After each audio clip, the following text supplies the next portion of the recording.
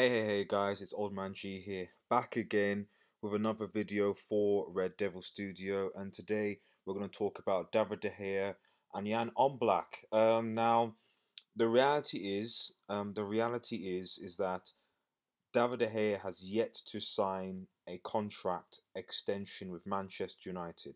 Okay, David De Gea's contract expires this coming summer 2020, and come January he is free to negotiate with anybody. And it's rumored that Juventus are interested in purchasing David De Gea.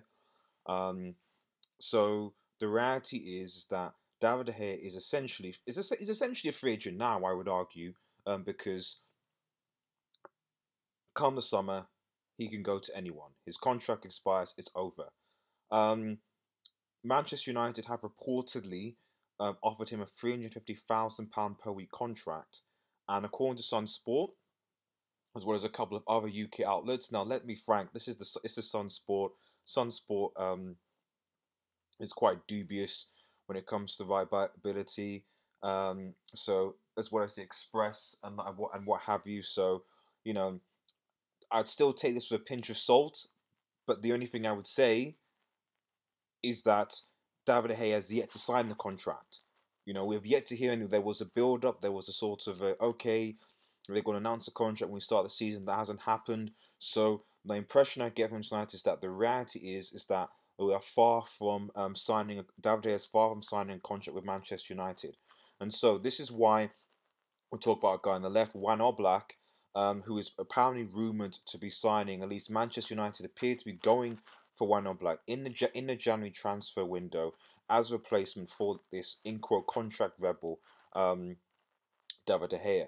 Um, and essentially, you know, they, they, they report they claim that Juventus are the front runners to sign and it wouldn't surprise me to be honest because Juventus have this sort of have this sort of uh, um, you know they got Dani Alves, Pirlo, you know Paul Pogba, Adrien Rabiot, and and Ramsey. You know, five of those players. Obviously, Pirlo's not with them anymore. Dani Alves with them anymore. Pog Pogba is in, obviously.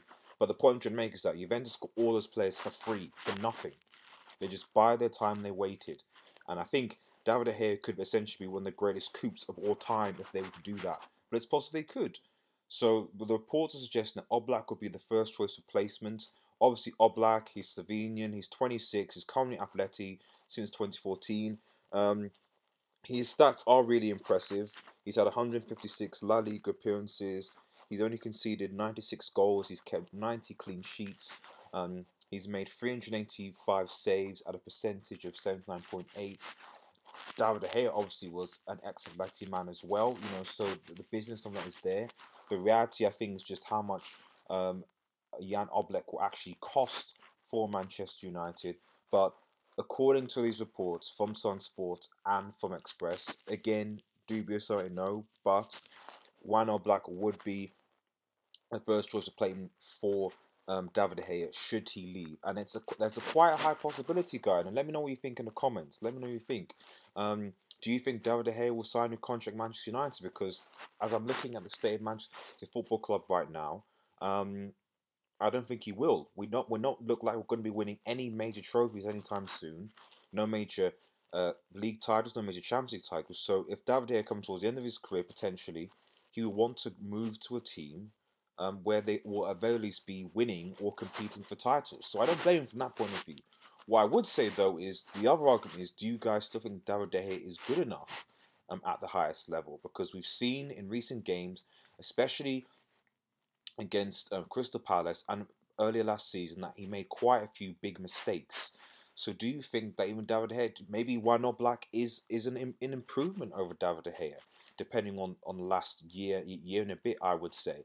Um, his form, David De form, has, has gone down, and I think he needs to step step up. Certainly this season, um, if he if he's truly going to remain a world class keeper. Um, so let me get what you think, guys. Thanks again for listening to everyone. Um, please follow us on uh, Twitter, We. Please subscribe to this channel. Um, uh, for, for Red Devil Studio, obviously, like that button, share and subscribe, and smash that notification button to get up to date with the latest videos. We are almost at a thousand subscribers, guys. We're 940 subs. Really appreciate the ongoing support. Thank you so much for listening, and please let us know what we can do to improve. I'd really, really appreciate as much help as I can get. Thanks for listening, guys, and cheers.